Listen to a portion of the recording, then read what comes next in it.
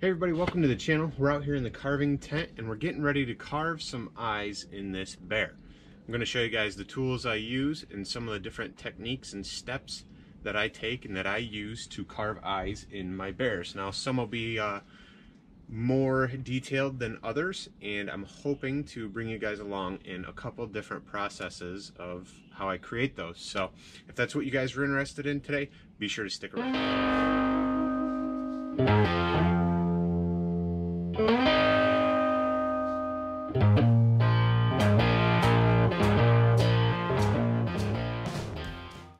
Well guys, like I was saying, we're gonna carve eyes into this bear. I'm gonna walk you guys through that. Now there is a much easier way to do this rather than carving. It's pretty quick, pretty simple. You only need a couple tools, but there is also some downsides. And what that is, is that drilling a hole and putting marbles in. Now you can get 5 8 marbles, like black ones, and get a 5 8 Forstner bit or drill bit, whatever you gotta do. Drill in, just pop some eyes in there, and you're done. Now, it's quick, fast, super easy. It really doesn't take any skill to do. The only problem is, is when the wood dries, those marbles tend to fall out. So you could mix some epoxy and kind of like figure out how to get it in there so it'll hold it in place. And now you're really starting to take up more time. I think once you learn to carve the eyes, it's probably going to take you just about the same amount of time to carve them as it would to drill them out and get the marbles in. Plus, you can buy one bit in a tool and have something that can carve eyes over and over again. If you do the marble method, you have to have a drill, the bit, and you got to buy marbles over and over again. So now you have to purchase three things, and the marbles you have to continue to purchase. If you get a die grinder and one or two of the bits I'm going to show you in a minute, you've only got to make those purchases once, and as long as you take care of your tools, they're going to last a long time so you make your money back on it. So just some things to think about. The other thing with the marbles, like this is a dry piece. I could drill it out. I could put them in. It could be fine. Wood still expands and contracts with the weather. So depending on the season, the temperature, the moisture, and all these hundreds of millions of factors, your eyes could still fall out. They could. It could just happen. And then you got to deal with fixing that and a customer and, and all that kind of stuff. So just some things to, to keep in mind with a quick, easy route, but also you know, I, I think carving them is really going to push your skill to the next level and, uh, you know, help you make a better piece, a better project, a better piece of art. So let's get going here. We're going to use the flame bits to start from Saburrtooth. Now, just bear with me, my tools are over here, so I'm going to be using their quarter inch flame bit. Think it was quarter inch, quarter inch or three eighths and then the half inch flame bit. Now they both have a quarter inch shaft and they fit right here in my die grinders. The grinders I use, the bits I use today, I will do my best to have an Amazon link to them and the correct sizes. The RZ mask, you guys see me always using this and talking about it. I cannot share the link to this in this video at this time due to the coronavirus. They are no longer available on Amazon. They are worried that companies are price gouging these things. So if you want to get a dust mask as of right now, go directly to their website or wait till this thing blows over and I'll have some fresh links coming up for these masks. So I just kind of wanted to let you guys know about that. If you can't find it or if old links are not working, it's because Amazon has taken them down because they're worried about prices going through the roof with this whole virus thing. So, all right, let's, uh, yeah, we've all heard enough about that, right? Let's do some work. What I'm going to start with is the half inch. I'm also going to put my mask on, so hopefully you guys will still be able to hear me well. If not, I'll have to voice over, but we'll see. Now, I've got the half inch flame bit in here in my die grinder. We're good to go. What I like to do is start kind of at the top and in and have it at an angle and start rounding my eye. Now you guys could take a pencil give yourself a rough line, a rough size, or a crayon and draw it on. I just, I don't know, I just don't do it because it seems like I can never draw them to match. And so I just get on here, start a rough circle, start making it smaller, and just eyeball the eyeballs. You know what I mean? So let me see if I can zoom this in a little bit closer for you guys, and we'll start actually cutting some wood.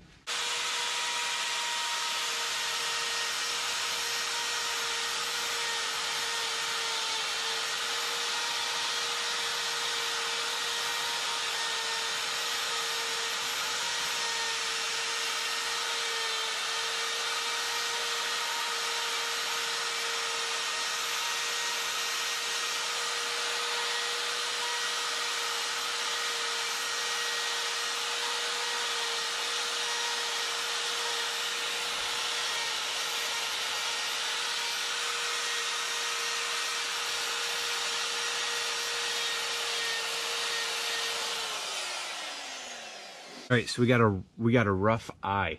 Due to the angle of the flame bit, due to it having this this taper flame bit, it actually gives you a rounded look. Like you get a bubble look on the eye. Now, you do this, and you can see the eyebrows, and depending on what your cuts look like here, he may look angry, happy, sad, and those are things you're gonna have to play around with. I haven't perfected them yet, but you know, you take some material away here, he looks more sad. If you make this a sharper edge coming down, you can make him look mean or mad. So keep that, you know, just keep that in mind. Now we've got a rough circle here. At this time, I'm gonna do the same over here. I might be in your guys' way though due to the camera, but we'll see how it goes. We've got two eyes roughed out, okay?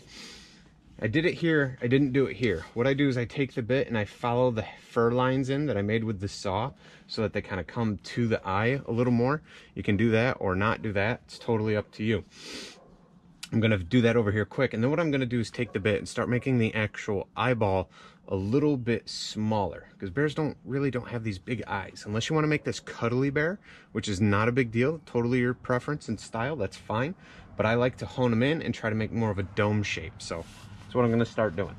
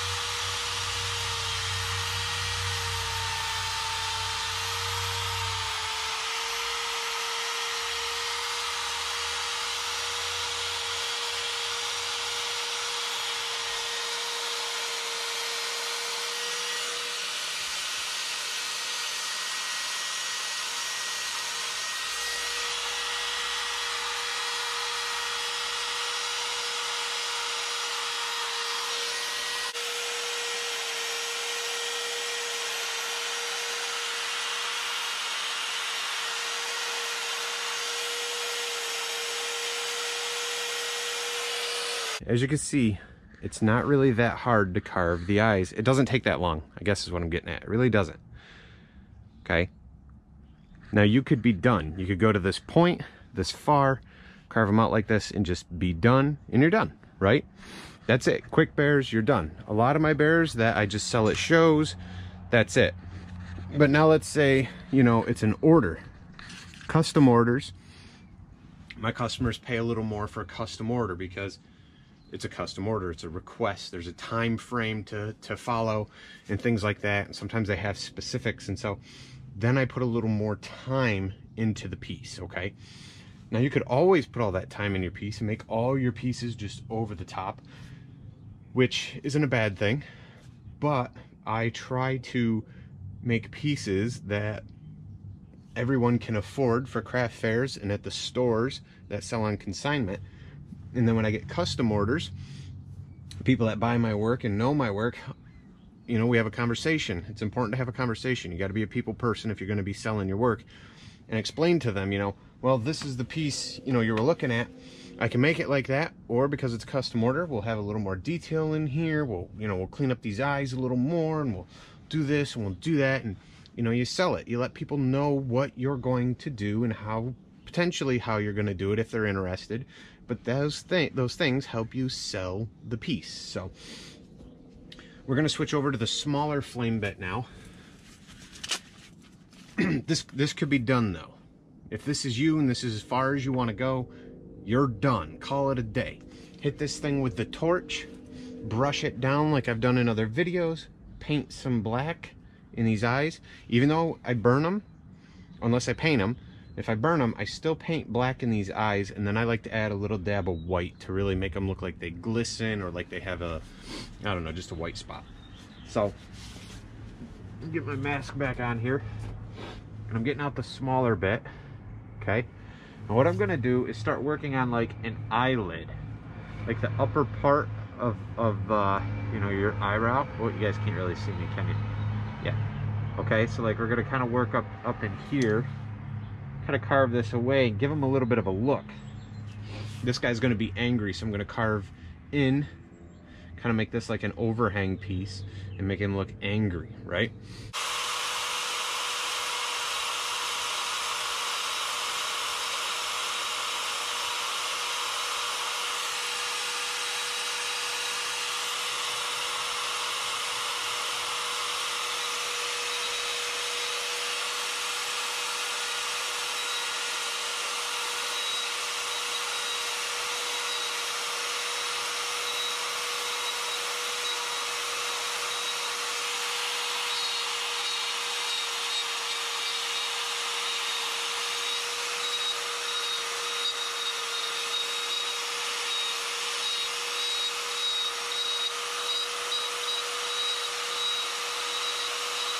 I just went in there and removed a little bit of material.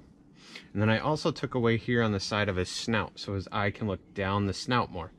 I'll do that over here. We're going to remove some material and kind of get more of an eyelid going. And then we'll remove part of the snout.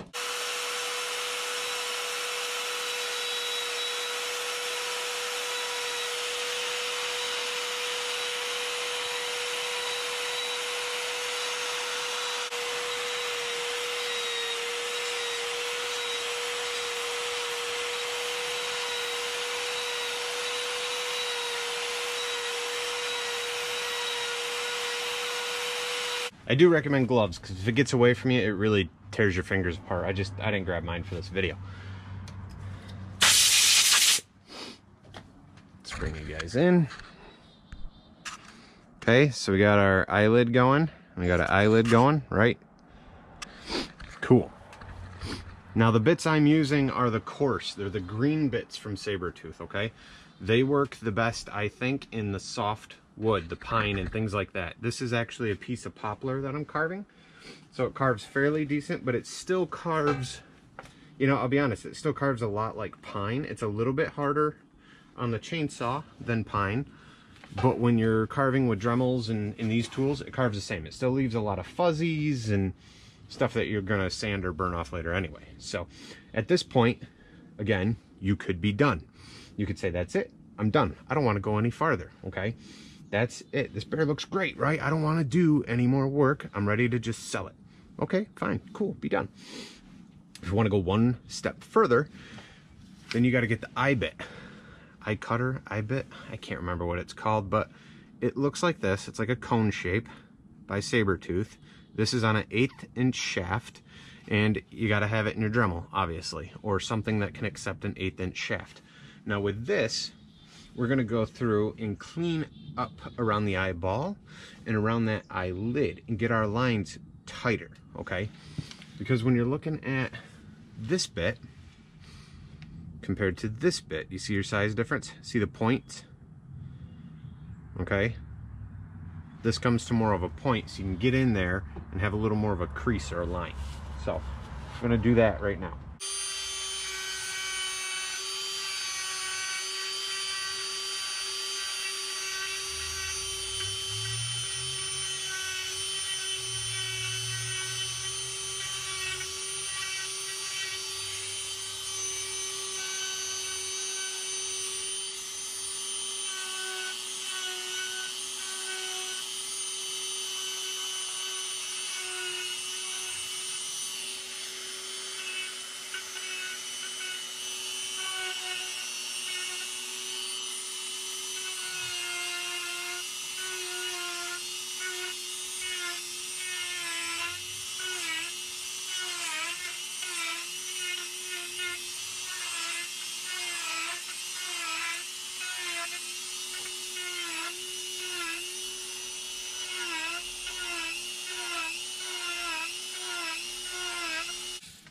Got a little carried away.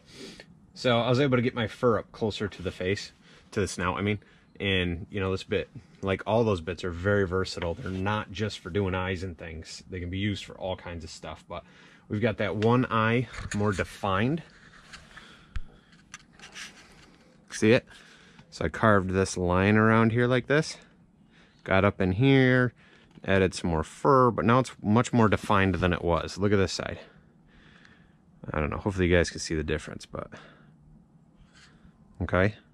Not quite as defined yet. So I got to go over here on that side. I'm not saying left or right because it's probably backwards in the camera and that'll be just silly. For me, his eyes are done. You know, at like anything else, you guys could take your time and do even more and continue to refine. Okay, but you see the eyelid on top?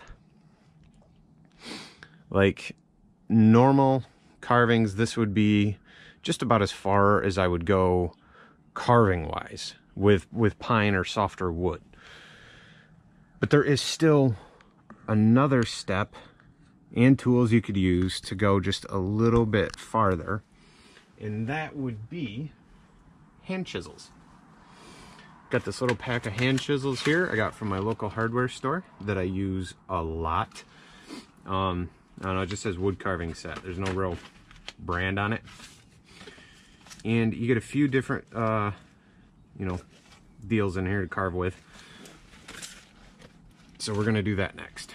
I'm gonna take this one. I have no idea what specific names are for these things, but we're gonna take this. They're all pretty dang sharp. Now doing this in pine or softwoods can be tough because they don't always hold the detail that you want. Hardwood will hold detail quite a bit better, but you can get in here, kind of go around your eye. Around where you think the end of the eye should be. I mean, this is pretty much really, like I said, really good from using that eyeball bit. But if you wanted to add that much more detail, you can get in here. And what I'm doing is I'm cutting around the eyeball, like where the eye would round into the socket.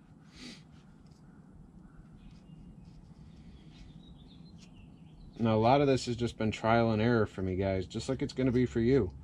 I didn't, uh, I really didn't study with anybody. I didn't do an apprenticeship.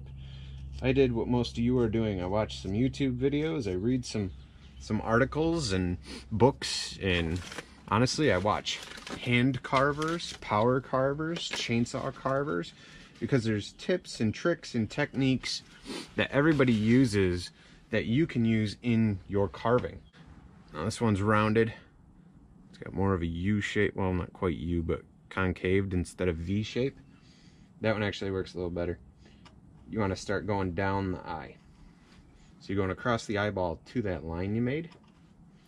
When you get to that line, you're able to take away some material.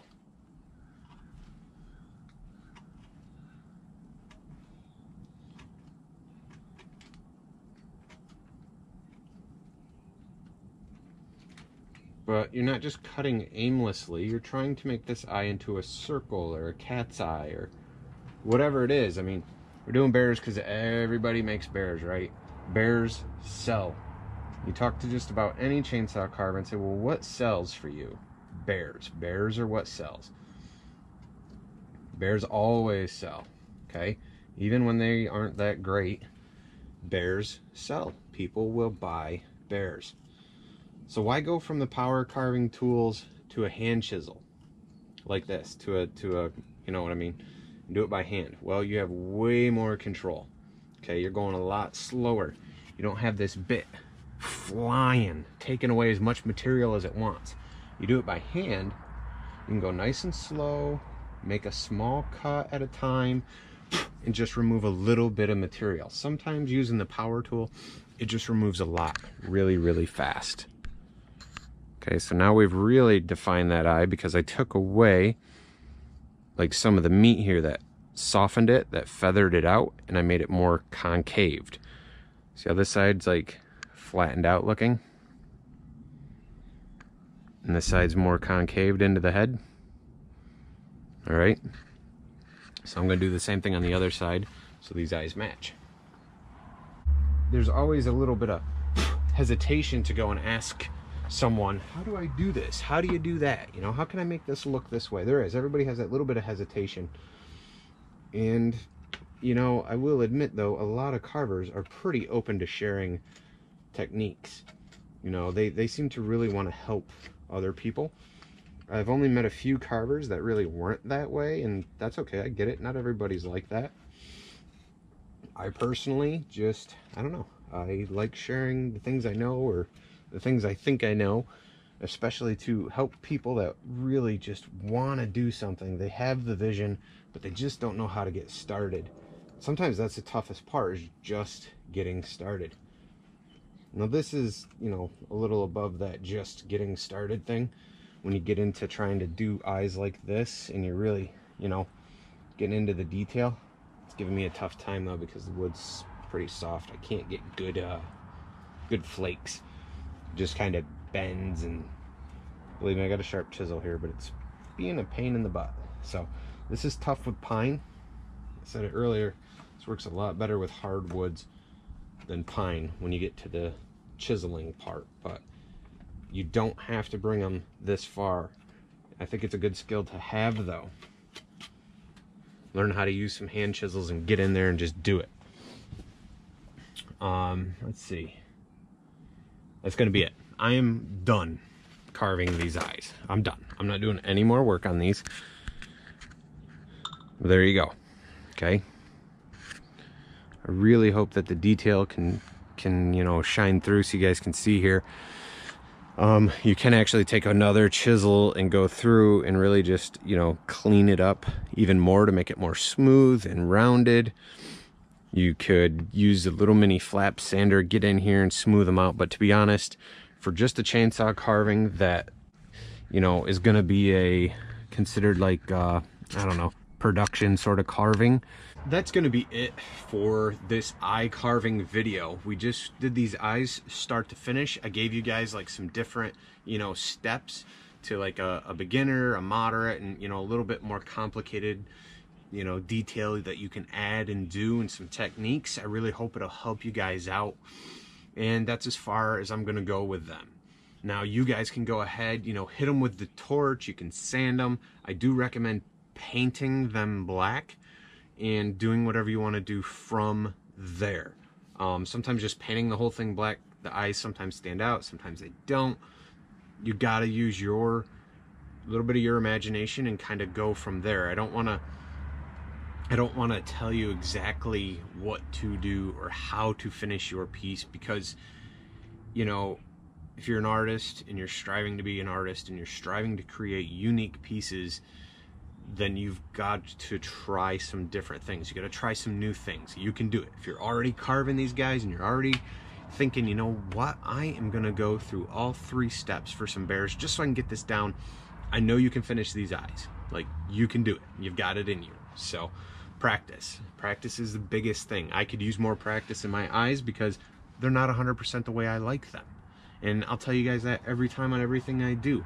I don't think I'm you know, the best carver in any way, shape, or form. There are some amazing carvers out there, some guys that do a much better job than me, and I congratulate them on that because they're able to just get it down, nail it, and their technique is flawless. And they're just good. They're good. But I do believe that this is some really good stuff for people starting out and really good baseline for you to just build off and work your work your skill you know and just get better at it. So that's going to be it though. That's it for this video for this eye carving video.